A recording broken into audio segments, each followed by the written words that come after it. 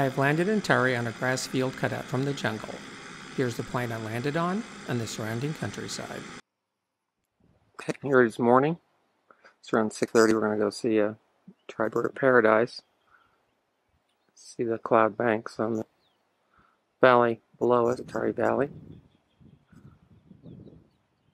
the imagination blunders on that one, right? Exactly. I don't know who's which, but okay. Morning here in Ambua Lodge. We're standing out overlooking the Tari Valley. You can see the clouds cloud back up there. Very beautiful morning this morning. Going, getting ready to go to the Bird of Paradise. The birds of paradise are a unique group of an incredibly beautiful species native to Papua New Guinea, Indonesia, and Australia. Their feathers are used in the colorful huli wigs. Fortunately, birdwatching tourism has dramatically decreased the hunting of these amazing animals. Bird of paradise. It's a falcon's neck. Oh. Oh, There it is. wow. Oh, yeah. Beautiful. Oh, look at that. Oh, what shot. We just leeu. It's the Stephanie's. Die is Stephanie. De leeuw. Oh, yeah. Bright blue. Bright blue on the crown. Bird of paradise on tail. Let it go, so don't. That's the- Tuft on the nose. What is, oh my god, dude, that's a Yeah. Beautiful iridescent.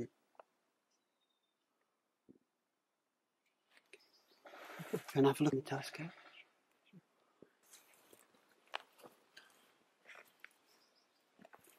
Oh, look.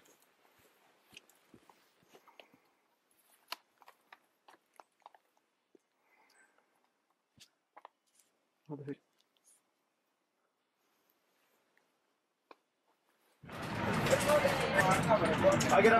It's a fairly typical Highland rock house. Land area. Just kind of a store area. These mats are woven and then they're used for the walls of the house. So this is kind of a commercial area. And see the office here is near that. And dressed up in a traditional dress. I mean, this is not. Oh, hey. He's showing him the picture in the digital camera. They're freaking out on that. Siapa? I would get a. Give him an AO. Di mana tu?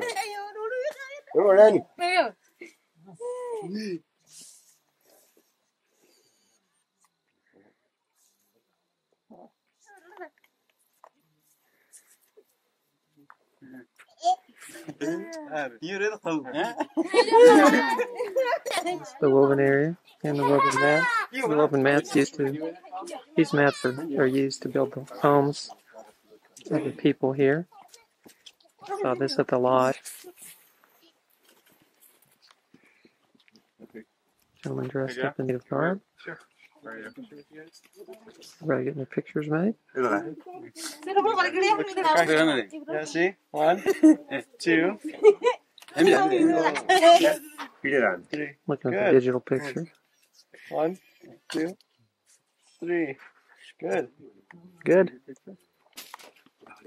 Great.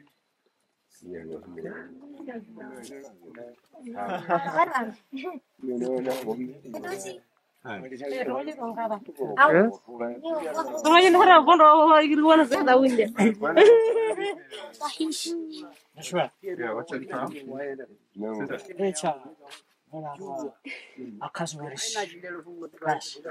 Cassowaries. Uh, Kale. Yeah. And many cartoons. Yes.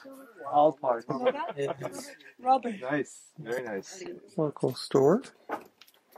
Very good.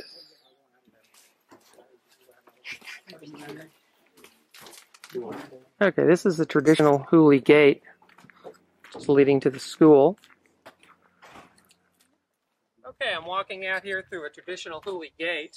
This is leading into the local school ground. School is over here. The athletic field comes over here with basketball, the basketball court, and then this is a local Catholic church right here. This is a mud wall which protects against the fighting which goes on between the clans. Uh, only clan members are allowed inside the mud wall. More I'll people. I'll show you in one. uh, traditional dress. Can I take a picture of you? There you go. The headdresses are interesting. Never. Second of all. Facial tattooing. Gentleman wearing the traditional headdress in this area. Schneeballon, you're right. Okay. The driver is discussing some of the tribal features in New Guinea, such as there are 800 tribes who speak 800 different languages and they do not understand each other except through the use of pidgin English. Regarding the Hulis, he means to say they have 200,000 members divided into clans of around 1,500 people each, or around 130 clans. The clans routinely battle each other on a lethal basis. The clans are divided into subclans. Disputes in the subclans cannot be settled in a lethal or killing manner. They are resolved by trading pigs. Yes, the uh, the area we're driving down from the lodge, or even we're going up to the uh, gap, and further down to the valley, the clans called Hale, and Hale has nine sub clans, and uh, looking on to this clan is uh, fifteen hundred people, while other clans called uh, Baru clan same number. Okay. Now, do the do the Hulis fight among themselves? The clans fight. Uh, between the uh, uh, clans. The clans fight, and then you also have intertribal and clan warfare. if there's a, a trouble between the uh, sub clans in one clan, Uh, then that have to be uh, straightened out by hearing the word, and then they can pay a compensation payment. No clans war. no war and among the subclans, That's right. just between the clans. How many clans are there? Whole area, I do not, I cannot give you the true word in the whole area of Intari, but I would say it's what two hundred thousand clan. 200,000 clans? clans. A thousand clans. and Okay. the population of our Hulis, uh, what came on the uh, election back in 97, we had Mosquito? 97,000 people turn up for the election. hmm So about uh, 15 did not turn up to vote. Yes. So I would Mhm. say it's nearly uh, 150,000 uh, Hulis. So the Hulis go from the the top of the mountain. Oh, 200,000 No. clans in the whole. No. Again. Where do the Hulis go? They, Hulis, Who's- even way up in the, behind these big mountains, okay. all that, All this is Huli all this Huli. Hang on. behind the big Now mountains we're in the I think Temptation. there are mosquitoes in the there. Tari Basin. Okay. I don't think there's. So the top from the they go from the tops of these mountains to the valley. Right. to the valley. Okay. And even way up, And we are where? about a hundred kilometers further to the west, Uh huh. then to the south, and we're back behind about forty kilometers from here. This is all Huli. Okay. Have a same language. Huli is the uh, second largest in Papua New Guinea, Uh huh. and Huli is the largest in our own province in the Southern Highlands. Okay. Wabak is the largest in Papua New Guinea, Hmm. and one tribe, the tribe called Obena. Okay. And the Huli is the second. Okay. uh, largest tribe in the country. There are 800 different spoken languages in the country, tradition and cultures that much different. hmm So if you say 800 languages, is that the same as 800? So 800 languages, 800 tribes, Huli is the largest, second largest. Second largest in, and the tribes pretty much understand one another No. uh, in Pidgin, Oh, in other. Pidgin. Pidgin English, Within the same tribe or within different tribes? different tribe. Different tribes. Different tribes do not.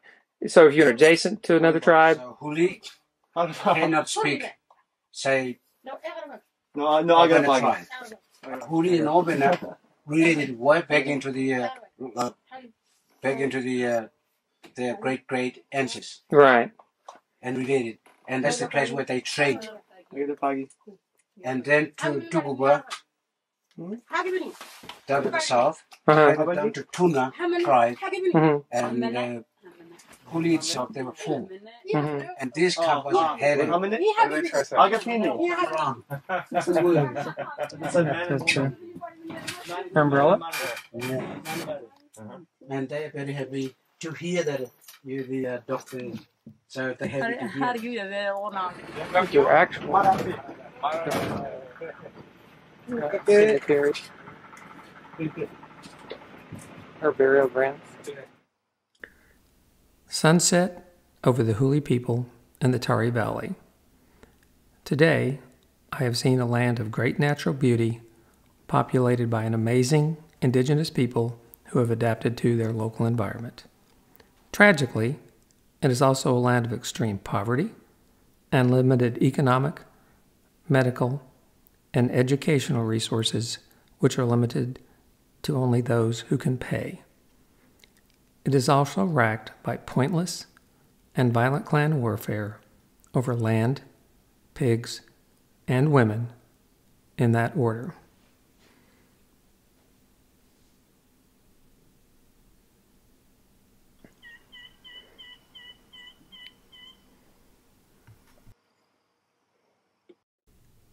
The Huli compounds separate the men's house from the house of the women, pigs, and children under the age of eight by a ditch which is maintained by the men. The Hulis believe that men must live together to share their secrets, and that women are witches who would suck the life of the men if they cohabited. Sex is usually reserved for procreation, and women do not have sex for three years after childbirth while the baby breastfeeds. This is the man's house. You got a WWF, WWF hat. Yeah, Here's the garden. me one of the, The man's uh, house. yeah, he can- I took him around. Good. Very nice. Good. Boundary, which helps the pig keep the pigs under control. The woman's garden, and then the woman's house. Traditional People, Huli grave what type you site see? Nothing been set up or two. Yeah. on stilts. Only the dressing Yeah. up all this. Everywhere. Yes. This And woman is dressed then in a traditional 1940s. uh, widow's like- garb. This headdress is especially I traditional. And this has been They still continue to wear this, but now they wear t-shirts or, or generally tend to wear black. They have to uh, And in mourn for about nine months to a we year. had They can remarry. settle down where the airport is. Yes. And this Built the lady has airport in on another traditional uh, Finished headband. In early in 70s. No more skate. So that's from more. Yes. Okay. So that's the widow because it's longer. Longer. Right. Okay. And This the woman uh, is up in the traditional painting, she used to have a Um, white clay all over the body. Okay. But Garb. herself, the head red, headdress. Black, especially common in this yellow. area. It's still Yes. worn So this generally would for be, Western would be you clothes. probably see on Wednesday. This woman is displaying how a Huli widow paints her face red, black, and yellow as a sign of mourning. The widows also wear long headdresses with the same colors. With bare feet. His bare feet. They used to. We can't do that. Yeah. With No, I can't. I can't do it for sure. I would look down. okay, here we are at a traditional Huli village. Over here we have the male's quarters provided by this mud wall. This provides protection against intruders. Intruder has to penetrate this, get in, and get out. It also keeps the uh, the pigs um, from crossing and getting injured or getting lost. These kids are showing amazing dexterity walking across this log. We're all amazed. Over here you have the woman's quarters, the woman's garden, another mud wall uh, protecting um, their side of the compound. Oh, this is like the medical. This woman is the only community healthcare worker in the Tari Valley. In this video, she discusses encouraging the clans to contribute to the construction of a medical building, as well as to follow sanitary measures such as digging toilets and disposing of rubbish. She also discusses the recent deadly malaria outbreak among the Hulis and the difficulty obtaining medication, in part because they do not have a post office in the valley. We try to teach them to dig toilets, rubbish out, where to throw the things, dispose, dispose rubbish. It's a new program we are teaching them. So since, We, as in you, yeah, oh, sorry, ourselves. community teaching community. So are you the only uh, the uh, CHW? Yeah, I'm the only one. Only one here. I went and asked because the number in here is too much. Yeah. So I went and talked with the boss to give me another stuff, and Yeah. they said, go back and put a building up, but you know, it needs money. Oh. So the people don't won't get together and build a building. You're getting a new building now, right? We at the ward that thing here tomorrow when you come, I'll show you. Okay. It's uh, put up by the community. Okay, great. And we contribute. Some contribute in cash. Yeah. Whatever they can contribute, they contribute and we put it up. Jennifer, what's your last name? Pie. Bye. I I P. Yeah, yeah. So you're saying malaria up here too? Malaria is outbreaking here. Really? See, I think Really there are high. mosquitoes here. I've seen So, them. And many are resistant to chloroquine and quinine. Yeah. Yeah. So that's why the, we talked to Steven, Uh-huh. and then he sent us that medicine, and and then it's hardly for us to get medicine. You know what he sent? Uh, Malaria? Uh, Malax, yeah, Methylquin? that one he was Mal- trying to send, but it's Malaram? we have no post office in it. I'll show you the little box. These are some examples of the weapons that the Huli warriors carry into clan warfare. This is a bone dagger created from the long bone of the cassowary bird. No, no, I'm the holy man. Every day week. Everyday wig. Yes. This is ceremonial week. Oh. This warrior discusses how his spear is constructed by showing initially how the tip of his spear is made from the sharp claws of the cassowary bird, as illustrated here.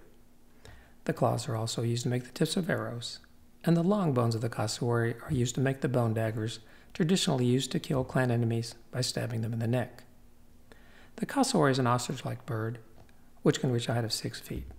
It is by nature aggressive, but imprints on the first thing that it sees at birth, which is a Huli warrior. In addition to being used to create the weapons of war, the cassowary is grown for food, while its feathers are used to adorn the colorful wigs of the Huli warriors. The quill of the cassowary is used as a nose piercing. As will be seen in later clips, the hide of the cassowary can be used for clothing, religious ceremonies, or to create a detachable spear shaft, which a warrior will carry into battle. The warrior finishes his description of the spear by stating that the shaft is made from a locally grown reed. Uh, Now, this is made out of the uh, Bamboo. This is, Cassowary cloth. this is bamboo string. bamboo string. Cassowary. Cassowary Cloth. cloth. Yeah. Okay. This wood, a bit bit. Here, Is that bamboo? Yeah. no bamboo. Bit bit here. Beat beat. Yeah. Some reeds. Or. Some reeds, some type of wood. it. Tomorrow, if you me big Yes. dress up, So tomorrow you're going to dress up as a Huli warrior? yeah, you can picture. Okay. Yeah, I welcome you. Okay. tomorrow. Okay. Somebody coming today. Anyone come down now. He break it go ambua. You Oh. look him too. Another drive. He another bus. He Not it. yet. No, look him. No, look. Oh, no, no, no. Uh, Smoking through the uh, his traditional pipe. Head off the He's uh, filled these leaves up with water and he's going to, I guess, use that to uh, mix the paint. Obviously dressed up in full warrior outfit.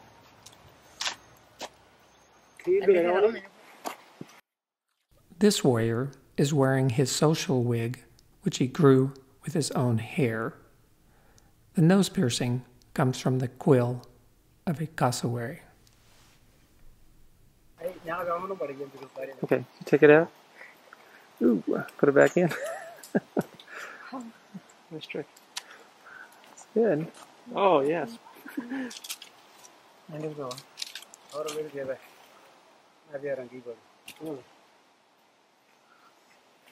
Now the the headdress is made out of. Uh, is that the bird of paradise or what is that? Yeah, that's why. Oh, it's cassowary. Cassowary. Okay. thank goodness. This is a bone dagger, traditionally used to kill clan enemies by stabbing them in the neck.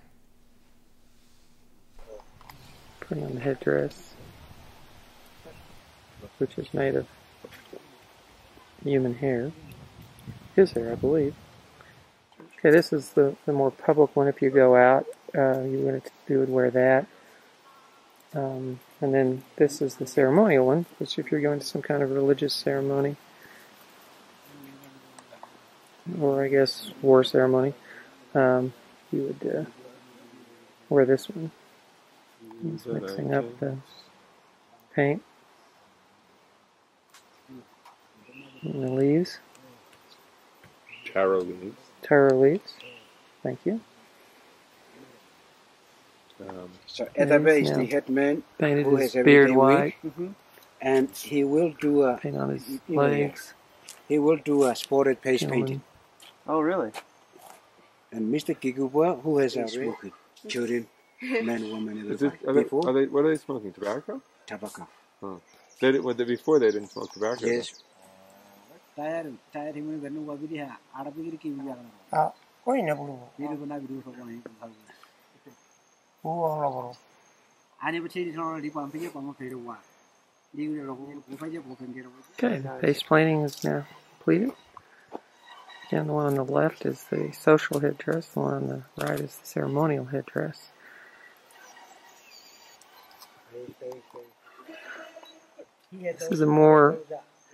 appropriate social wig, much nicer. Very beautiful, actually. A lot of colors.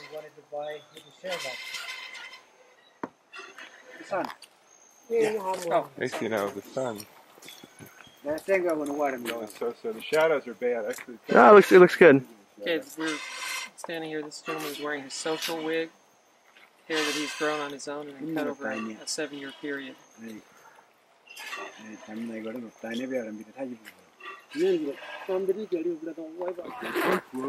Okay, we're inside a compound here. Again, this is the women's house. The women care for the pigs, the kids, the pig, and they grow the plants. Huh? They learned how to tie the pig, how to look after the pig. Okay, the, these are the women working in the fields. They're planting sweet potatoes. And then uh, as we've noted before, the men and the women's houses are separated. And they have the mud, uh, mud wall, safety, control the pigs. And then, uh, it's a burial site here. Then here's the women's house. Pigs are about 70 Well, you got? Oh, you're sewing, yeah. Oh. This is the, the garden here. They divide this in half, and the in between the men and the women. And the men take theirs and cook it themselves to their own home. Grass skirts they're wearing. We are entering into the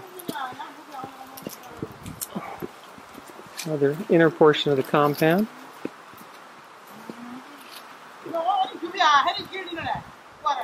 Okay, we're in the women's.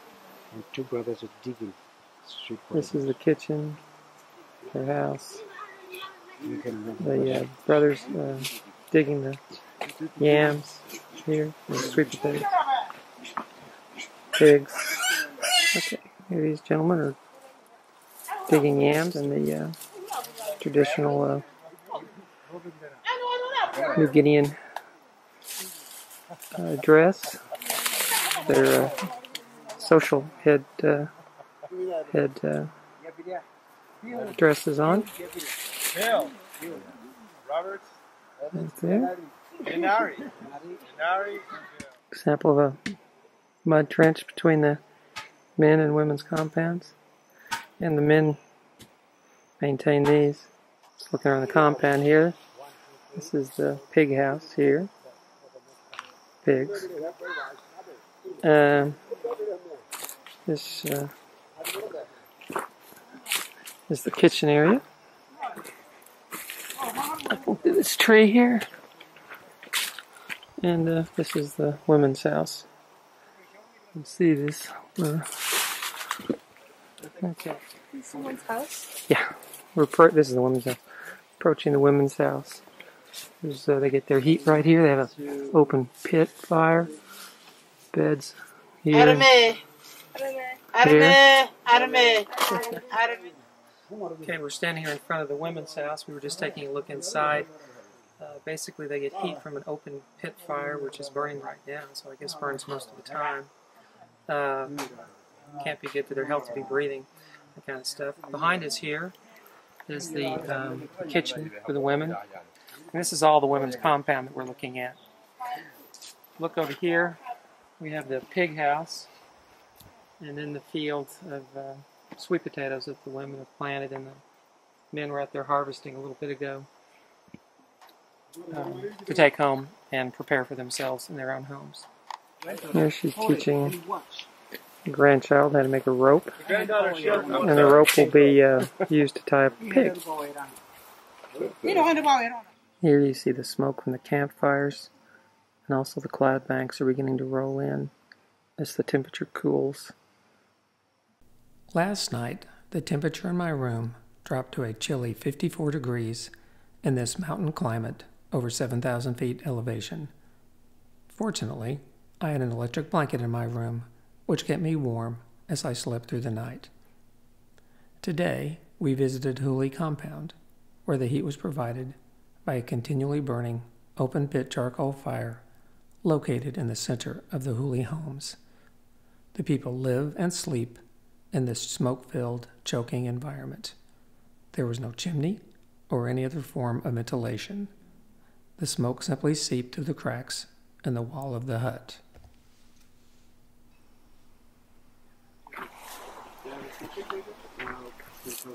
Here, I'm going to demonstrate making a fire. Dry grass.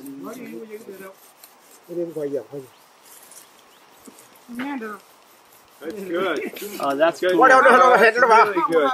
You know, you know, if Tom Hanks could have seen this, it would have saved him a whole heck of a lot. of money. That is, oh,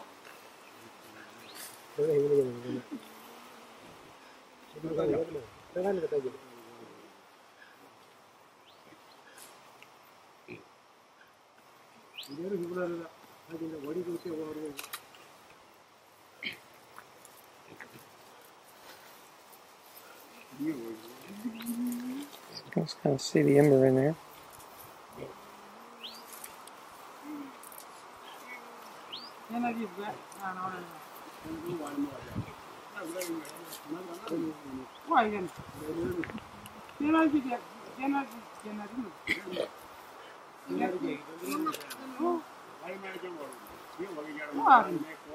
oh, that is cool. That was very cool. It's your turn. Oh my gosh. See one, do one, That's teach one. definitely a Boy Scout trick. Oh yeah, especially when holding the fire in your hand. I think that's a Ward is ready for that one.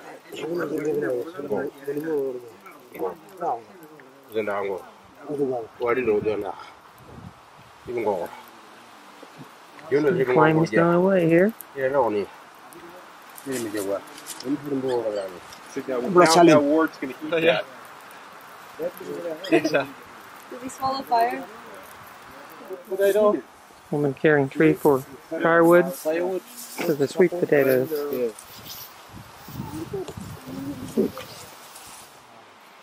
Woman balancing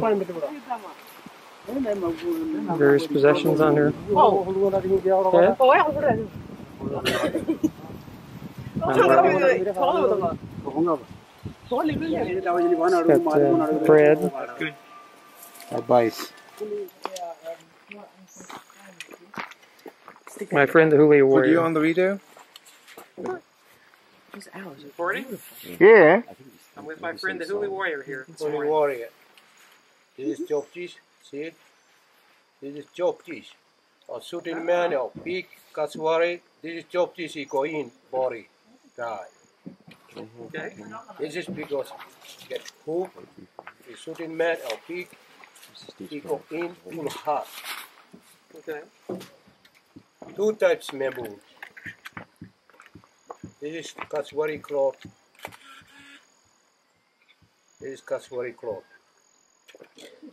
Come apart.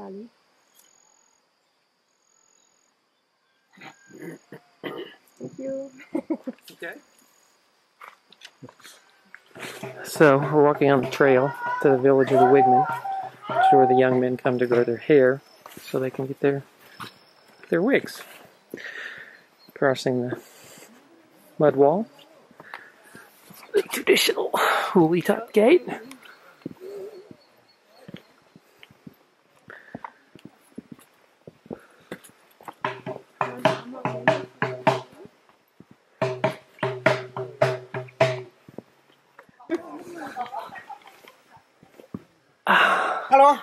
Morning. Yes, morning. The wig is a critical element of the Huli culture. Virgin Huli warriors come to the village around 14 years of age. They grow a wig every 18 months. At no point are women allowed in the village. Was sind die? werden es wahrscheinlich gewohnt sein. This warrior is wearing his social wig, which he grew with his own hair. The top of the wig is adorned by the cassowary, while the feathers on the front come from the cassowary, parrots, and birds of paradise. The nose piercing is from the quill of the cassowary. So now, The everyday bird of wig, paradise, bird of paradise everything. feathers. he can take it out and put it in.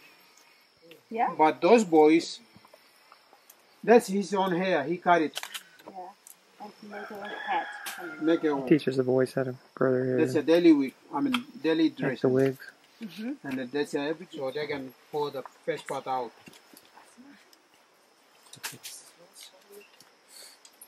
And uh, secondly, they are going to use those uh, leaves to pass the water, and uh, then they are going to sprinkle onto their hairs. And uh, the teacher will use his powerful magic words, and uh, then they are going to toss it on the water and uh, sprinkle on to their hairs. Okay. And uh, you can see the this man here with the big wig. These two men, you can see the many leaves into their wig. hmm That it makes uh, hair grow faster. And we will see closer when we go out there. So if you didn't get that, they're putting leaves in the hair because they feel that makes the uh, the hair grow and faster. uh, we will see whether through his own hair or false hair we will see when we go out there he's going to lift it up and we can take pictures we can put it when we go there now he's giving uh, full of water. Give to Tisha and Tisha will make his use his uh, powerful magic words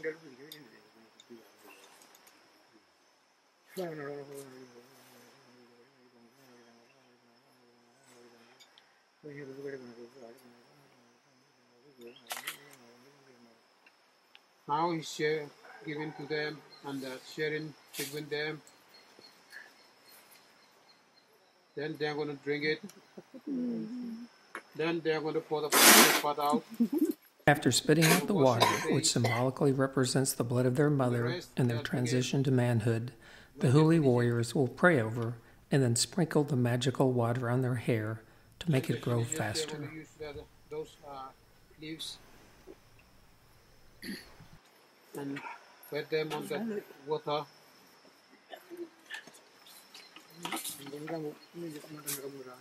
이게 확 나가잖니. 이게 거는 한번 우리 바로 그래 보이더라고.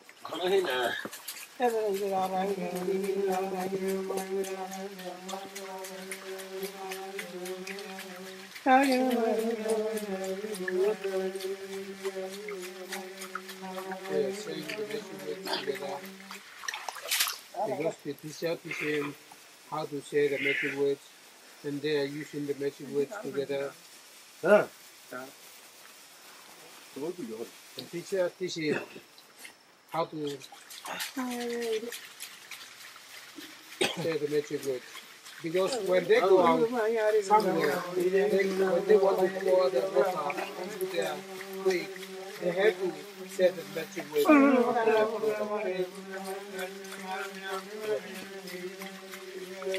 That's why they preserve this here.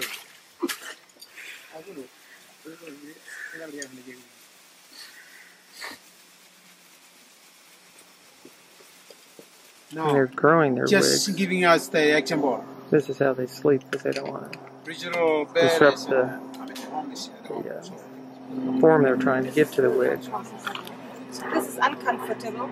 Oh, so These are the sticks that the warrior sleeps on over the 18 month period that he grows the hair for his wig. Multiple wigs may be grown during his stay in the village. ceremonial one.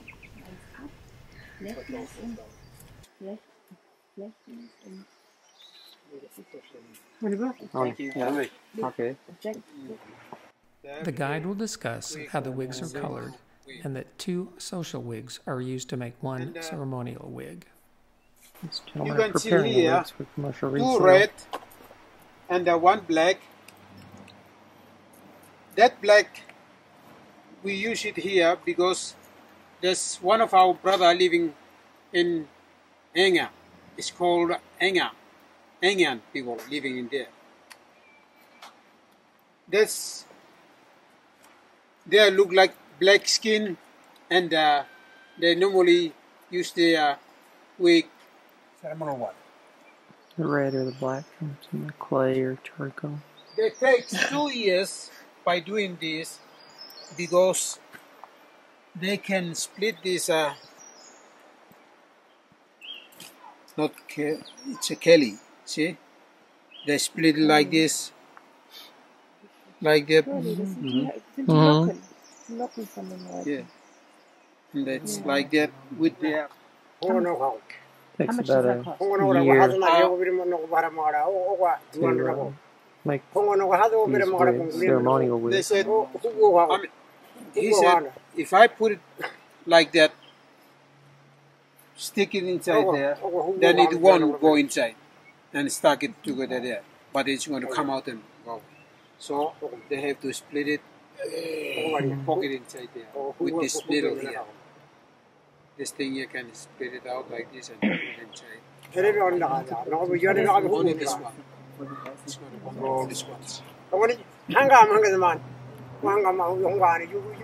This is a special tree, and uh, this one we have it in Ambua Lodge, which is uh, the leaf. Out of that leaf, 600 enough for them. 600 enough for ceremony one, and uh, 300 enough for everyday week. What's a guinea? So It's 600 kina? 600 enough, yeah. Yeah, 600 enough okay. for everyday. I mean ceremony.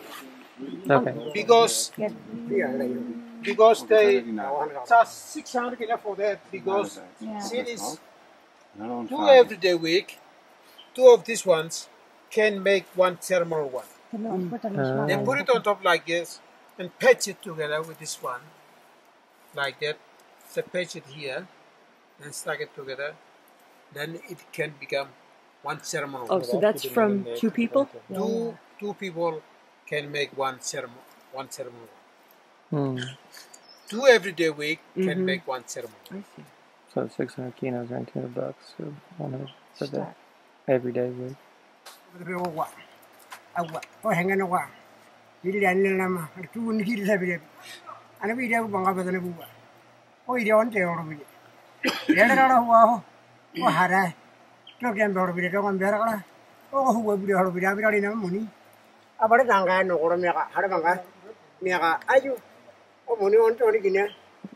Jadi, ini dia.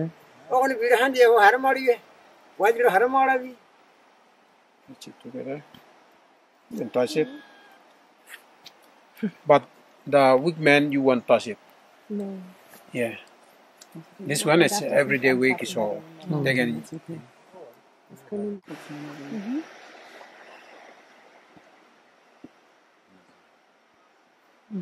Das ist richtig verfilzt. Ne? Verfilzt. Yeah. Tie it together at the back, and you will get pain. Pain. Pain, yeah. Ja. Then you stay there like that Uh-huh. until you finish with the changing, and then they're going to remove it. Hmm. War das automatically?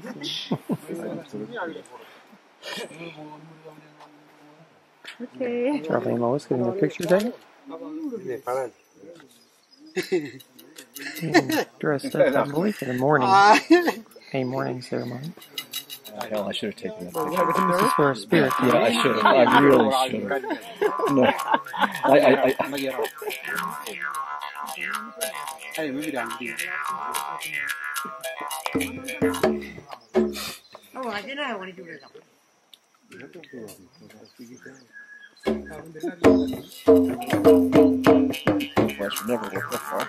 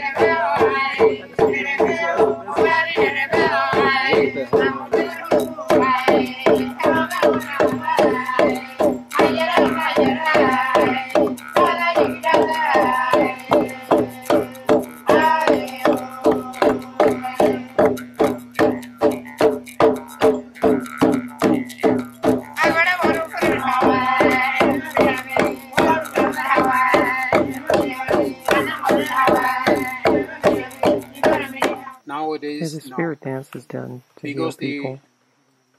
Done by older the doctor come and uh, Um, everybody's here. So, but we are using, still using uh, some sort of a the night. magic around weights or some other, just like a slides when. Have cassowary feathers. All these ones are Cassowary feathers. All except this one is a Stephanie. Probably the Stephanie. And the cocky. Stephanie, of course, is a bird of paradise.